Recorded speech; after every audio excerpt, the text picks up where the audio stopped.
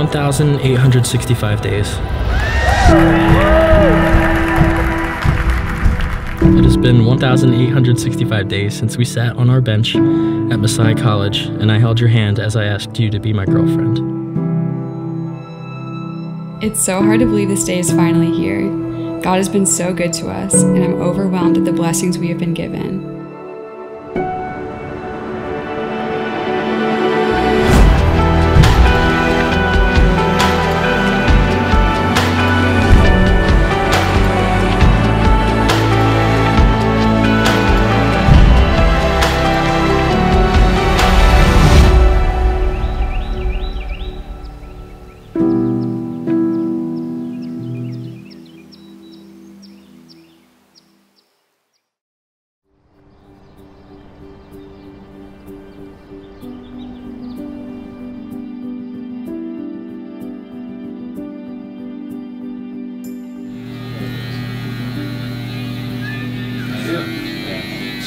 He's not some cultured individual. the girl into like pick up his dish and I'm like, oh, who's next? Oh, man. Looking good, Nick. Thanks, guys. Feels good. Ah, Sick look, dude. I was like, dude. I'm like, look at that stud. Like right on the back of my hand as she's like putting the ring on, she just sees my face staring at her. Subtle. Yeah, yeah. And she'll just see it somewhere throughout the like throughout the evening. Like, yeah, like right here.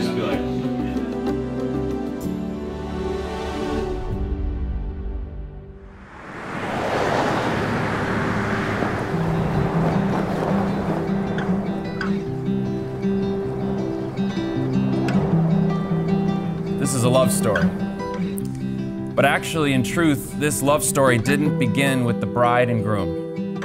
It's a love story that's much older, and it's a story of God's love for humanity. And when we understand this greater story of God's love, it puts into perspective what this day means. And what Nick and Britta are looking for is to experience a love in their marriage that is better than any fairy tale, better than happily ever after.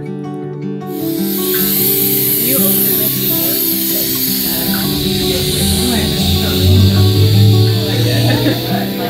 like the back. And then they, they took her out. Before God created any government, any nation, or even any religious structure, God created marriage. It was His idea. He is the author. Therefore, He has the authority over what marriage should look like. And God created this marriage relationship so that people could observe and see and witness, so that they would have an idea of what the covenant keeping love of God looks like.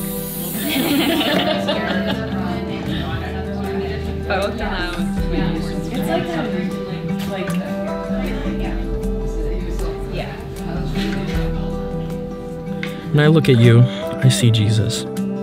I see his love. I see his grace. I see his mercy. I see his compassion. I see his strength. And I see his beauty. The love of Christ is so abundant in you that it becomes evident to anyone you come into contact with. Make your heart for Jesus, love for others, compassion, patience, and joy are things I will cherish and nurture for the rest of my life.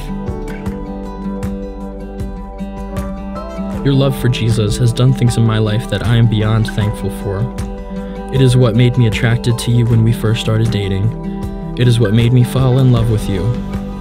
It is what made me find my best friend in the one that I love. And it is what makes me want to spend the rest of my life with you. Moving on to the next one. Yes, we're getting there. Making progress.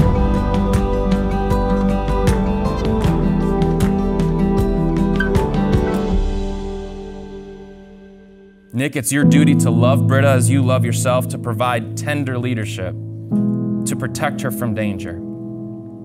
Keep her always under your protection, but never under your shadow. So allow me to charge you both to remember that your future happiness is to be found in mutual consideration, patience, kindness, confidence, and affection.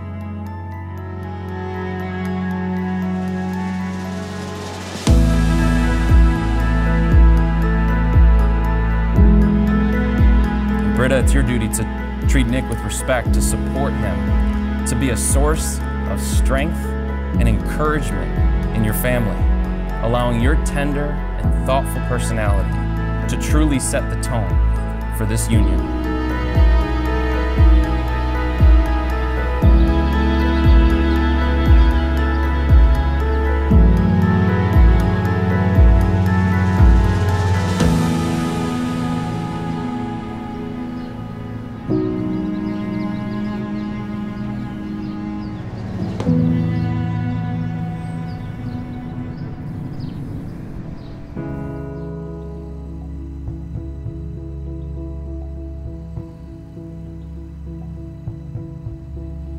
So here we are, on day 1866. No more miles on the road. No more phone calls to say goodnight. No more counting down the days to see each other again. Today, you will put on a white dress, and I will put on a suit and tie, and I will get to experience the unmatched joy of watching you walk towards me on your father's arm as my bride.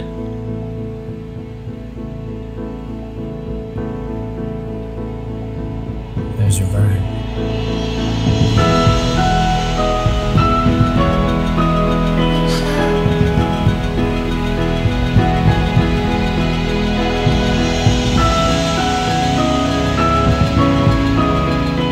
The past 1,865 days have not exactly been traditional, nor have they been easy. God has always shown us how to love one another and grow closer together in more beautiful ways than we could have possibly imagined. It's my greatest joy growing and dreaming with you. I cannot wait to spend the rest of my days as your wife, worth every moment of waiting.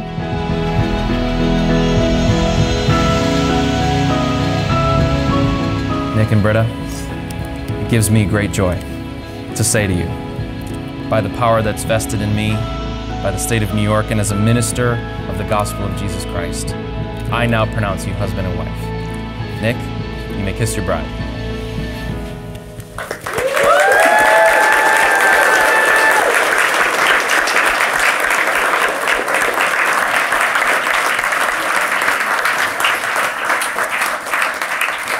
May I present to you for the very first time Mr. and Mrs. Nicholas and Britta Weeder. Uh!